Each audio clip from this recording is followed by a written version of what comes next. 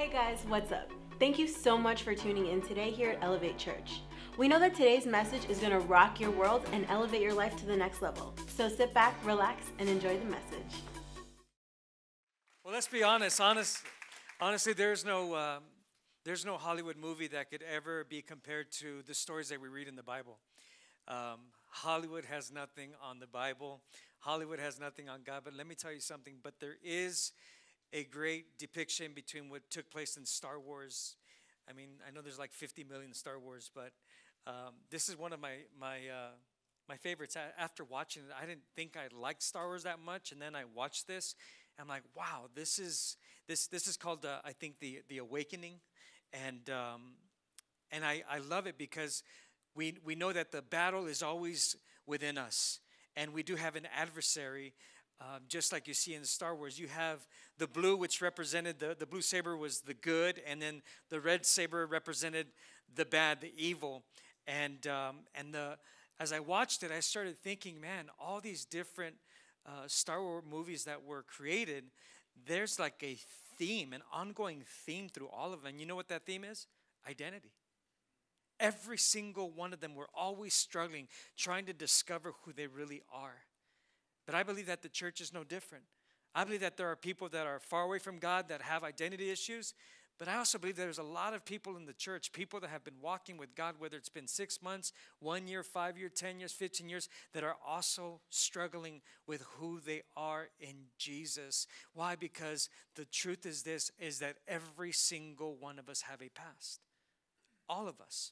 No one gets away from a past. Now, I don't know what your past looks like, but maybe there's people here that have a past divorce, and you're still living behind that divorce, and you're still identifying with, with that divorce. Divorce is not who you are, divorce is what happened. Or maybe you're sitting here today and you've had some hurt, some pain, you've been betrayed, you've had some losses, but whatever the reason is, you have a past that keeps trying to haunt you and keep you in this place of, of hiding yourself behind it. And, and how many know that God, God does not want any single one of us living in a past of anything? He wants us living in the future that He has for every single one of us. In that future, He says, I have a hope with future, and that's what He has for every single one of us. But as we watch this movie and we look at uh, the girl, uh, notice they gave her a name, they labeled her. Like many of us right now, you're wearing clothing and you got a label on you right now. And if I can, if I, can, I can go walk around and ask you who you're wearing, and, and you tell me what your label is. You know, there's a label on my shirt, and uh, uh, like this, this is Zara. I, I, can, I can work it if you like to. this is Zara. Yeah, I like Zara. But see, Zara is not who I am. Zara is what I'm wearing right now. And I want you to know right now that, that this girl was labeled the scavenger.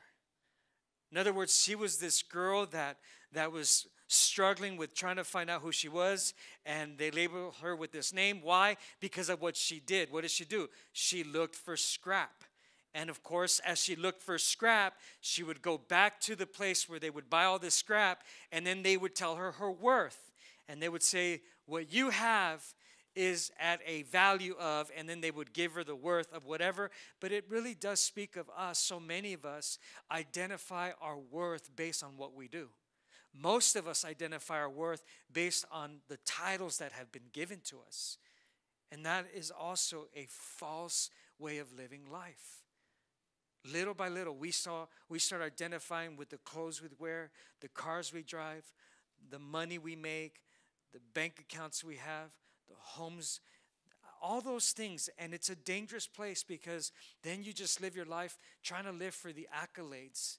And you're trying to live just for that white picket fence and that beautiful house when God created you beyond all those things. God made you in his image and you're like him. And I pray that today that we do have a great awakening of what God really has for every single one of us. How many here have a past? We all do. Some of us have some extreme past, but forget how bad it was because I, I, can be here and tell you all my stories of how sad my past is and you can come and, and bring me your past and we can go ahead and, and go head on on our past and i'll be like oh yeah well you think that was bad how about blah, blah and we would just get into a whole you know match of who has the worst past but a past is a past a hurt is a hurt A loss is a loss, and that's the reality. And so, as this girl is um, in this horrible situation, she's obviously identified by, by a bunch of people as someone being just a, a scavenger. You heard um, the, uh, the, the guy that was struggling, uh, and I trust, I'm not all a Star Wars guy, but he said something like, you, you let that scavenger, you let that scavenger have power over you. And let me tell you something I come from a scavenger lifestyle, but then I met Jesus. And, and let me tell you something the enemy's greatest fear is that you would come and find out who you are in Christ Jesus. Man, because God forbid that you come to the fullness of Christ, because if you just did that, you are dangerous in the kingdom. You are dangerous. And God wants you to be dangerous in his kingdom. He wants you to make sure that you know that you have all power and all authority over every single work of the enemy. See, there's nothing that you can face in this life that God hasn't already given you the power. Come on, the force be with you to overcome that situation. But uh, but we see the story as well. We see that that little robot, that uh, BB-8. He comes along. The scavenger meets him, and uh, and he's also trying to find his, his, his discovery of his purpose. But one thing that we know about BB 8 is that he had a map on the inside that would lead her to Luke Skywalker, who she was trying to discover. Well, guess what? You also have a BB 8. It's called the Holy Bible. And the Holy Bible is your roadmap that leads you to Jesus Christ. And it's only in Him that you'll ever find out who you are. It's only in that word. Without that word, let me tell you something, you'll never find out who you really are. Without this word, you'll never find out what God did for you. In this word, you'll never find out what God wants to do with you. Have you noticed that it's not our future that shapes us and molds us? It's our past that shapes us. It's our past that molds us. And I know that there are so many people that say, well, you can't let your environment dictate who you're becoming. But the truth is this is that everyone has a different story. For example, me, I grew up in the hood. I grew up in a very violent community. Back in my days, oh, let me tell you something, gangs today would be a joke. It would be a laughter to see how, how gangs do things today. In my days, people were being murdered in broad daylight. Every single day, every night, I would hear the gunshots. Every day, I had to, there was either flight or fight. I didn't have a choice to flight, it was time to fight. And so I was constantly challenged. And you know what happened is this, this environment really started shaping and molding the kind of person I became. I became very angry. I became very violent. I became very abusive. Why? It shaped me. My past was just literally just every single day, just forming me and forming me. And and I know unless you've been through a lifestyle like that, I always tell people if I were you, I would zip the lip, because you weren't there. That's my story. You can listen. You can argue theology, but you can't argue my story. But Jesus, Amen but Jesus, but Jesus, but Jesus. And so I'm not trying to say that, you know, woe is me. I'm trying to say that, yeah, woe was me until Jesus met me and I met Jesus and it was changed completely. So you do begin to begin to uh, be shaped and formed by your past. And and I'll tell you, it's it's it's not easy. Um, I love I love the fact that in in the scriptures, like this movie Star Wars, uh, there were there were men like the Apostle Paul and, and the Apostle Paul was someone that uh, studied the, the old prophets, the masters, uh, aka the old Jedi's. And he would study their lifestyle and he would study their stories and, and he would try to draw some wisdom and insight. You know what you can do? Um, it's, it's awesome to learn from people of the past that, that have overcome the issue that, that's your present today. And, and so the Apostle Paul looked at the issues that the old prophets were dealing with and, and he started studying them and, and he learned one thing and he, and, and he put it in the scripture for you and I to read it. Philippians 3.13, look at this. Now, I know we've all read this verse before, but I promise you, not everybody lives this. You may believe it, but believing and doing are two different things. Look, he said this I don't depend on my own strength to accomplish this. Accomplish what? What is this? This is your past. What past are you hiding behind? What past is defining you right now? What past are you holding on to that you can't release? Because Paul finally realized that there is no way that he can depend on his own strength to accomplish coming out of his past. And look what he says. He says, However, I do have one compelling focus. And that one compelling focus is this He says, I forget all of the past and I fasten my heart to the future instead. Dang, that's easier said than done, huh? Because too many of us are living our past today. And I know that there are people that sometimes can be so religious, and be like, no, praise God, I've already been delivered of my past. Yeah, then why haven't you forgiven your mom? Oh, we don't want to go there. Yeah, why haven't you forgiven your dad? There are people sitting in this church today, and all day there's all kinds of people walking through this church. There are people that are walking in here that are still holding a grudge uh, uh, with family members that are not even on this earth anymore. They're passed on, they're dead. But you're still living the past today. The moment you even mention their name, listen, here's how you know you've forgiven someone. If you walk into a room and someone starts talking about that individual who hurt you, if that still stings you, you haven't forgiven. You know you've let go when you can walk in a room, you hear that individual's name, and it doesn't mean diddly squat to you. It just reminds you of how faithful God is and how He set you free from that hurt and pain. Amen? Come on, can we give God a big hand clap for that? So He says this, however, I do have one thing I do. He says, the one thing I do is I forget all of the past and as I and I fasten my heart, my heart, come on, out of the heart flows the issues of life, right? Out of the abundance of the heart, your mouth speaks. Everything comes out of this beautiful little thing called the heart. And he says, I've learned to fasten my heart on his future. Easier said than done, but there's going to be a great awakening. I, I love this too. Um, the evil side, my, my son is a Star Wars fanatic. So I woke him up early this morning. He was like, uh, "What?" I'm like, "So tell me about this. Like, like what's the evil and what's the good? Like, what? How would you describe them?" He's like, "Dad, it's simple." He said, "The evil is called the first order." I'm like, "The first order." I'm like, "Okay, that's kind of." I'm like, "I can totally play off that." I'm like, because you know what? Every single one of us, we had a first order of our destructive, dysfunctional way. There was a first order of Mauricio who was cray cray. You know what I'm saying? Who was just just local, out there, hurting, doing crazy stuff.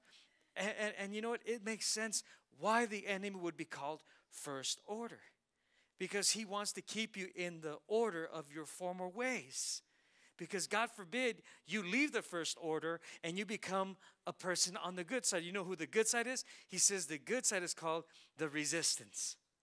I was like, dang, the resistance? He's like, yeah, Dad, the resistance are the people that fight the first order.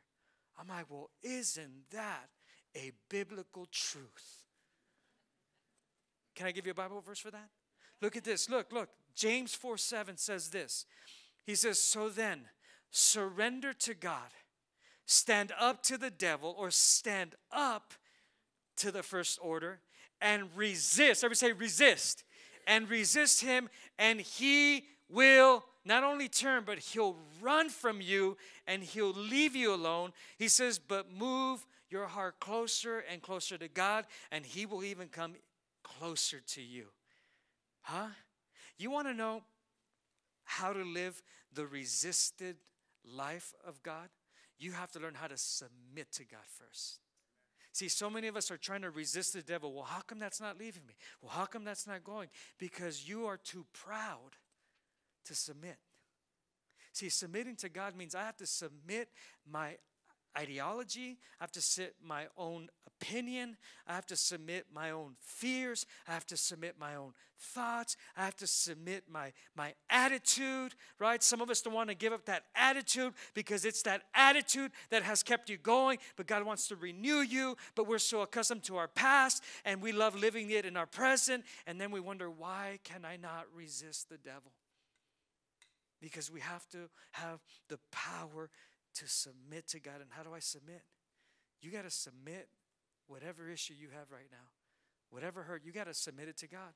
It's not, listen, it doesn't go away on its own. Without you submitting it to God, it doesn't flee.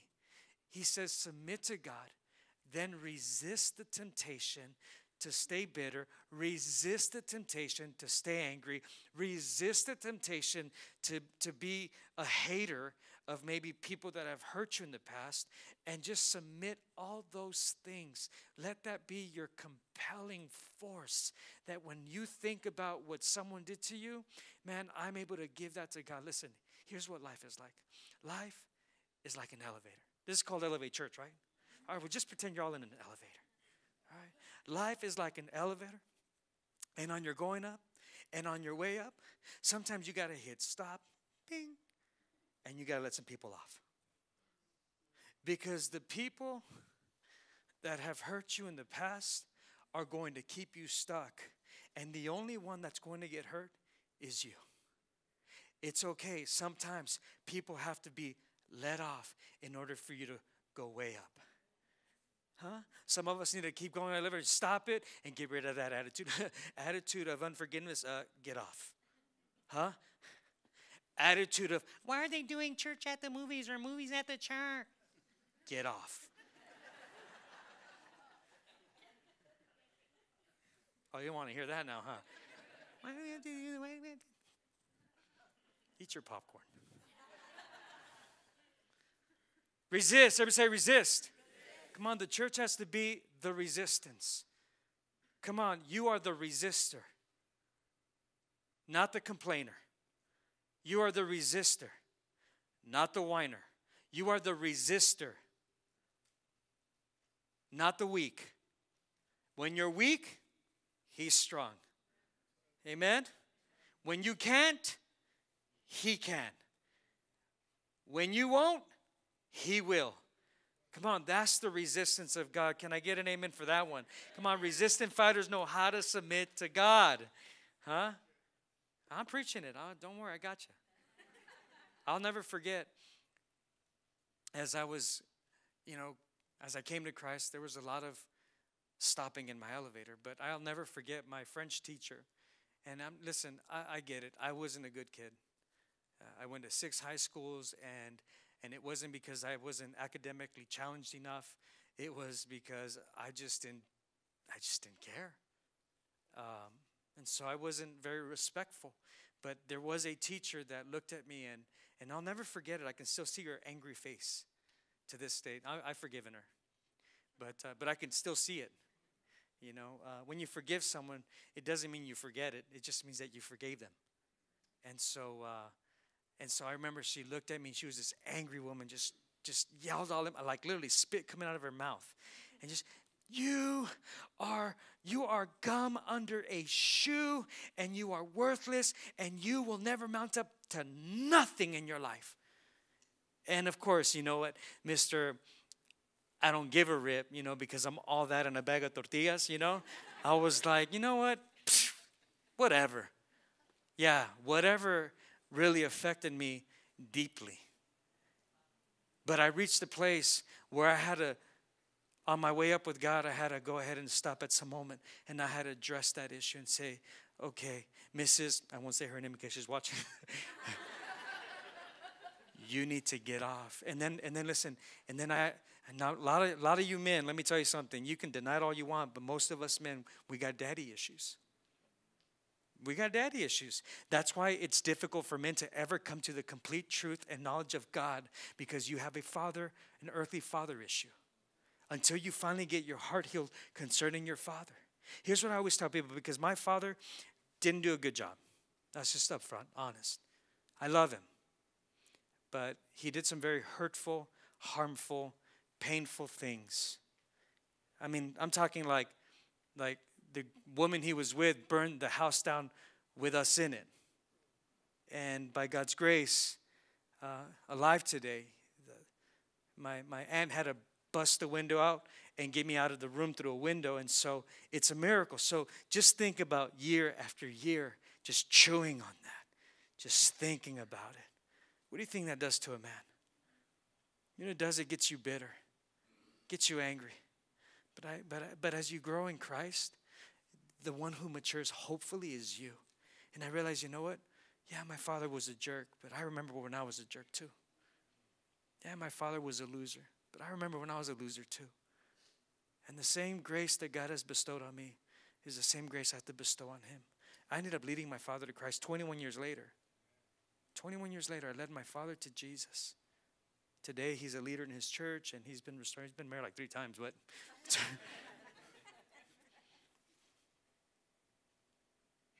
but you got to make a decision. I had to get him off the elevator. I hope I'm speaking to someone today. Because some of you, listen, you're waiting for that person to heal you. Tell me how that's working for you. If you're waiting for someone to get it right with you, you may be waiting till your deathbed for them to come and say, I'm sorry, yet you live like hell all your life. No. Submit to God. Resist the temptation. Resist the devil. And he will not only turn from you, that fool will run from you. Amen. I want to see some demons running. How about you? Come on. All right, quick story. Perfect person, perfect example of someone that couldn't resist. Have you guys ever read Sodom and Gomorrah? I only got like 10 more minutes, so hang with me. Sodom and Gomorrah was pretty intense. Sodom and Gomorrah was a community filled with violence, prostitution, drugs, slavery, uh, sacrifices of humans. It was dark. And I don't care how dark you may be right now. Maybe some of you are in a very dark place, whether it's intentionally or unintentionally. I don't know your past. You may know someone right now that's in a very dark place, and you know they're wicked, you know they're evil. But let me tell you something that the sun rises on both the good and the evil. Just don't forget that. The rain falls on the good and evil. Don't forget that. That just shows you how good God is. And so in Sodom and Gomorrah, God was about to whack everybody. Now, don't get it twisted because God's not just a whacker, right? But God is a compassionate God who constantly pursues you to change you and to get you to come to Him and to get you to change. Because Satan, the devil, wants you, he wants to destroy you. What does God do? God wants to love you. God wants to heal you. God wants to give you a hope with a future. What do we do? We keep feeding on Sodom and Gomorrah. But there was a man by the name of Abraham, and Abraham was a great man of faith. He was known as the father of faith. Abraham shows up to Sodom and Gomorrah, and he looks at, at, at the city, and he just, he's broken. And he begins to intercede for them. He prays for them. Mom, dads, don't ever stop praying for your kids. Grandparents, don't ever stop praying for your grandchildren. But he starts praying, and he starts talking to God, and he says, God, if there was 100, 100 faithful, there was 100 people of righteousness, would you save this city? And God said, Yeah, I'll save it. And then Abraham keeps saying, What about if there was like, like, like, like 50? If there were 50 righteous, would you still save the city? Would you stop your idea of trying to wipe it out? And God said, You know what, Abraham, if there were 50 righteous, I would save it. And there, Abraham, now he's annoying God. And he says, God, just one more time, if there was one, just one righteous person, just one person that loved you, that believed you, that pursued you, would you save this entire city? You know what God said? I'll save it. So don't tell me that God's not filled with grace. But the problem was that there wasn't one.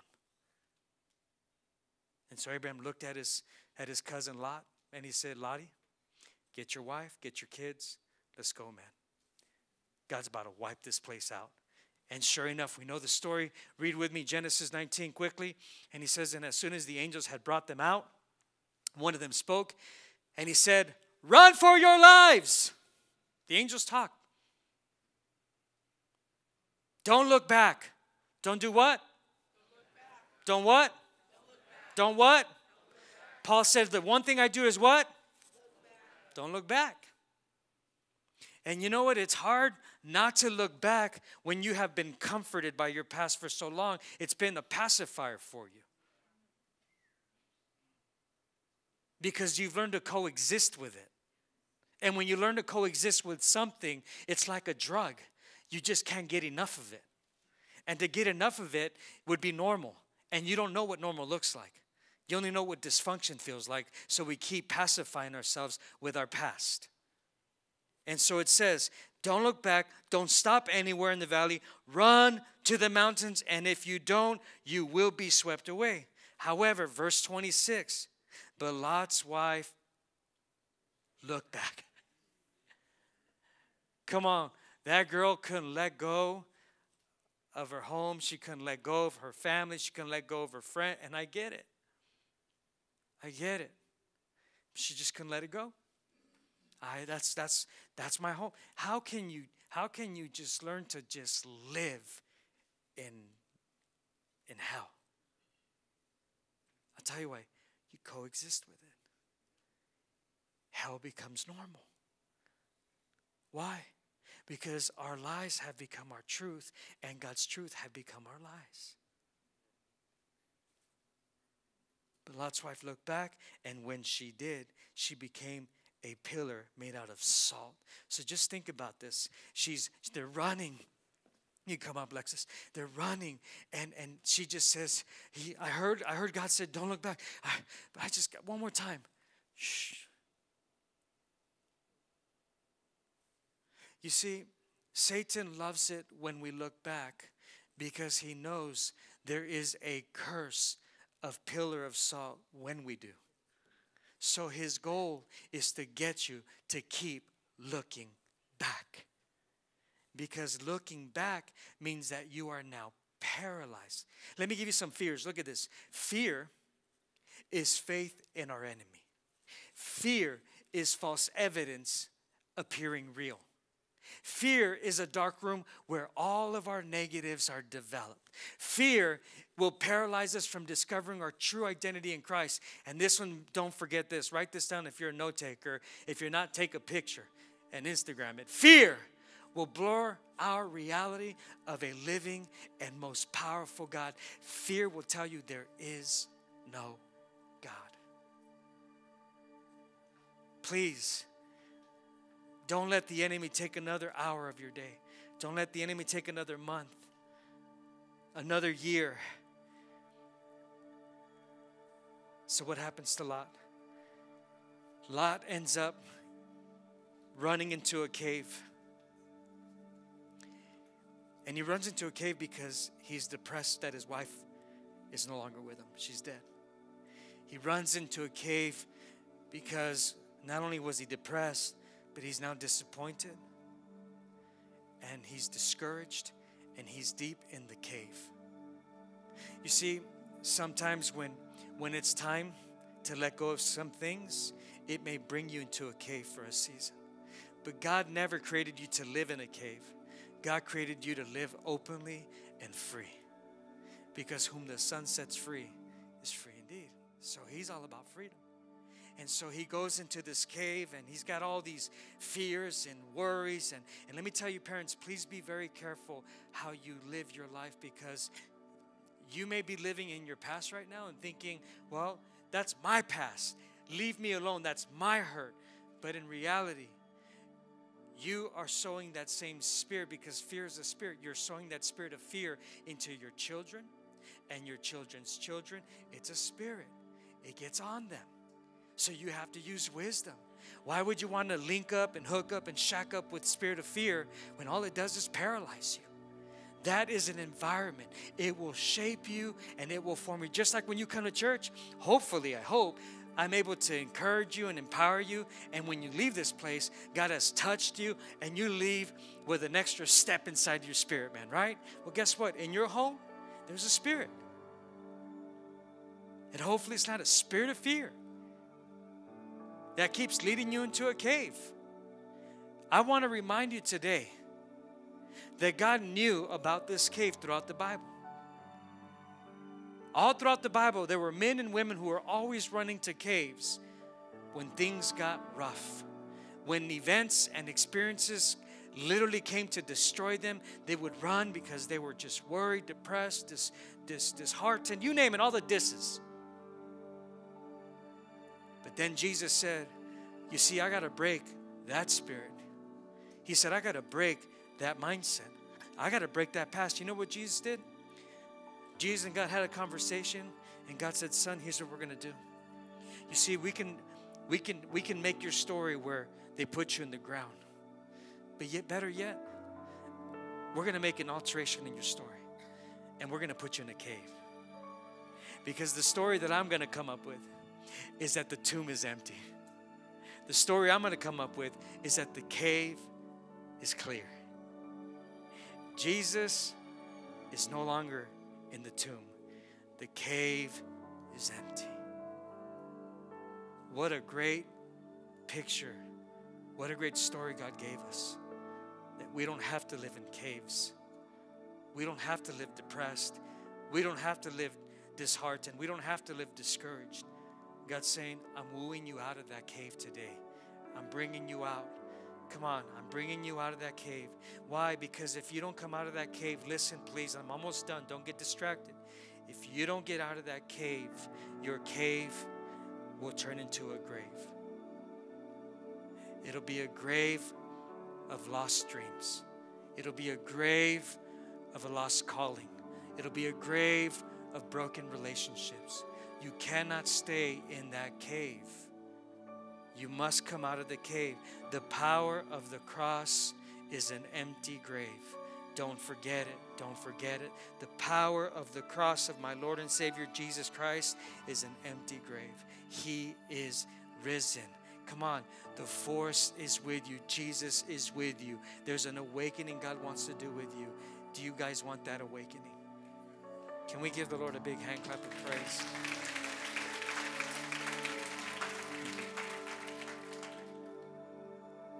And I close with this Gideon, Judges 6 12 and 16.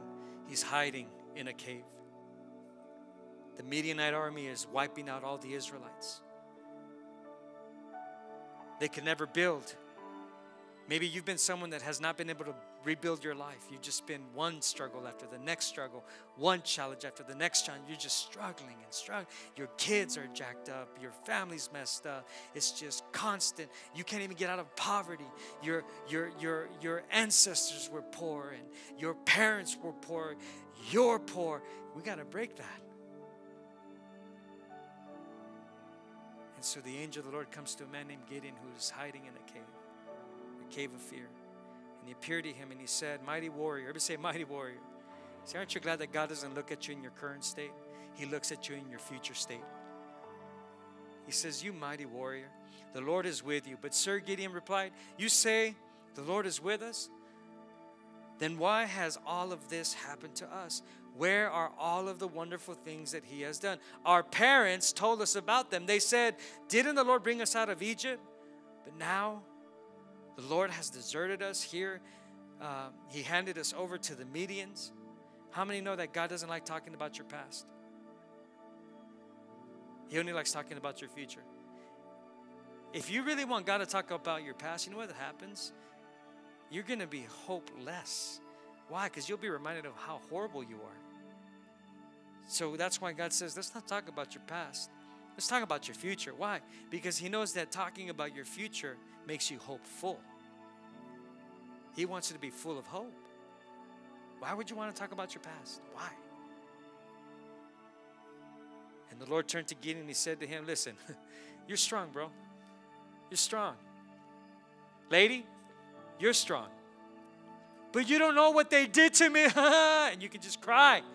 And God is not going to talk about what they did to you. He's going to talk to your inner man, your inner woman, and say, You are strong. You're strong. You're better than that. You're bigger than that. You're strong, but I feel weak. You're strong. You're strong. But, but you don't know what they did to me. You're strong. Go and save Israel from the power of the Midians. I am sending you, but but Lord, Gideon asked, How can I possibly save Israel? My family group, look at this, here goes identity. My family group is the weakest in the tribe of Manasseh, and I am the least important. Can somebody say identity issues? When you live in a cave, you are bound to be in a place of not knowing who you are. And he says, I'm the weakest of my tribe. We're the least important person in my own family. And the Lord answered, Listen, I didn't ask you what degree you have. I said, I'll be with you. So you will strike down the men of Midian, and you're going to strike them all at one time. I'm here to tell you that God is saying to you today, You got this. You got this. You can. Gideon is now he's in he's in the wine press. And as he's in the wine press he's doing what you don't do in a wine press. He's threshing the wheat. You don't thresh wheat if you speak to a farmer. You don't thresh wheat in a wine press. What you do in a wine press is you press wine. So many of us are doing things and living things that you were never called to live in. And God's saying, What you doing? What are you doing in here? Why are you acting like that? Why are you thinking like that? That's not who you are. You're not a wine press. You're a thresh, wheat, whatever. You know what I mean. And so he calls him out of his cave. And so he's going to go now and save the Israelites. And he gathers 32,000 men. 32,000 men. And now he's in his elevator. Moving on up. Moving on up. Y'all remember that? He's in his elevator. And God said, Gideon, the men that you have on this level, they got too much fear. They got to get off. He's like, What? You got to get off a few. He brings them from 32,000 to 10,000 men. All right. All right, guys. we got this. Moving on up. Moving. Gideon. Yes, Lord. You still got too many fearful ones with you. What? Get them off. 300 are left. Two. 300 against 142,000 Midianites. See, God does that because God will never agree with what you and I think need in order to be what God has called us to become.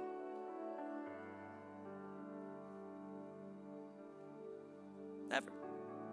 Uh, I'll, I'll give my life to God when I get my life right. When I stop drinking, I'll give my life to God. Yeah, sure you don't be the guy or the girl that lives when I, when I, then I will. No, you won't. If you can't will now, you won't will later. Will is now. Will. I will. It's your will. And how do I do that, Pastor? How do do that? Okay, last thing. Bible says this. Close your Bibles. Let's get out of here. Bible says this. It says that God's word is like a double edged sword. Don't get nervous. I know how to handle these. I am. I'm a knife collector. God says, My word, revelations, my tongue, is a double edged sword. But let me explain something to you because many of you that might not study the Bible, I've studied this. When God speaks of his word being a sword, it's not a complete sword until let me explain. See, one side of the edge of the double edged sword is God's Word. But it doesn't complete itself until the other edge does what it does. And that edge is you.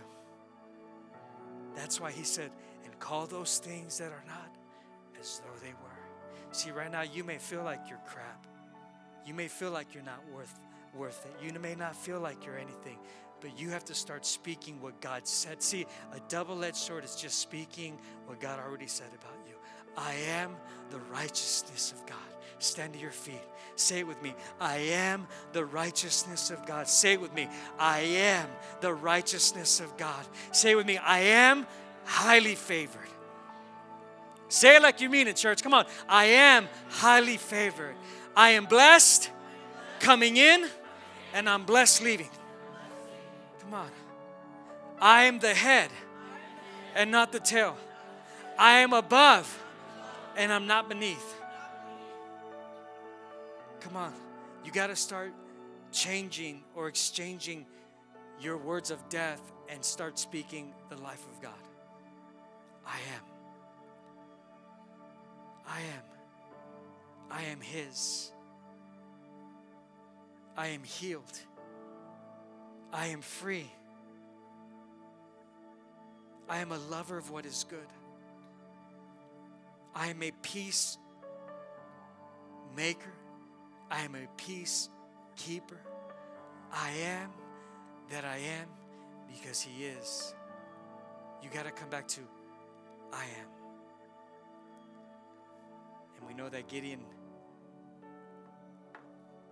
he wiped out 142,000 with one blow. But before he did that, you know what he did? Before he did anything, Gideon said, My Lord, I will build you an altar. See, hopefully today you connected with the Father. And when you connect with the Father, there must be a spiritual activation. And what Gideon did is what he built this altar of worship and he did it on purpose because he he called that place the place of victory and he built the altar and, and it was amazing and it was transformation it was awesome i'm here to tell you today today you need to build the altar of your heart where you say father please forgive me I submit to you. I submit to you my ideas. I submit to you my anger. I submit to you my, my bad attitude. I submit to you my feelings about you. I don't know where you're at, but you have to submit it to Him. And that's building an altar unto your heart for Him. If today's message impacted you in any way and you want to help us spread the gospel with a financial gift, text the number below and we know that someone's life will be changed the same way that yours was today.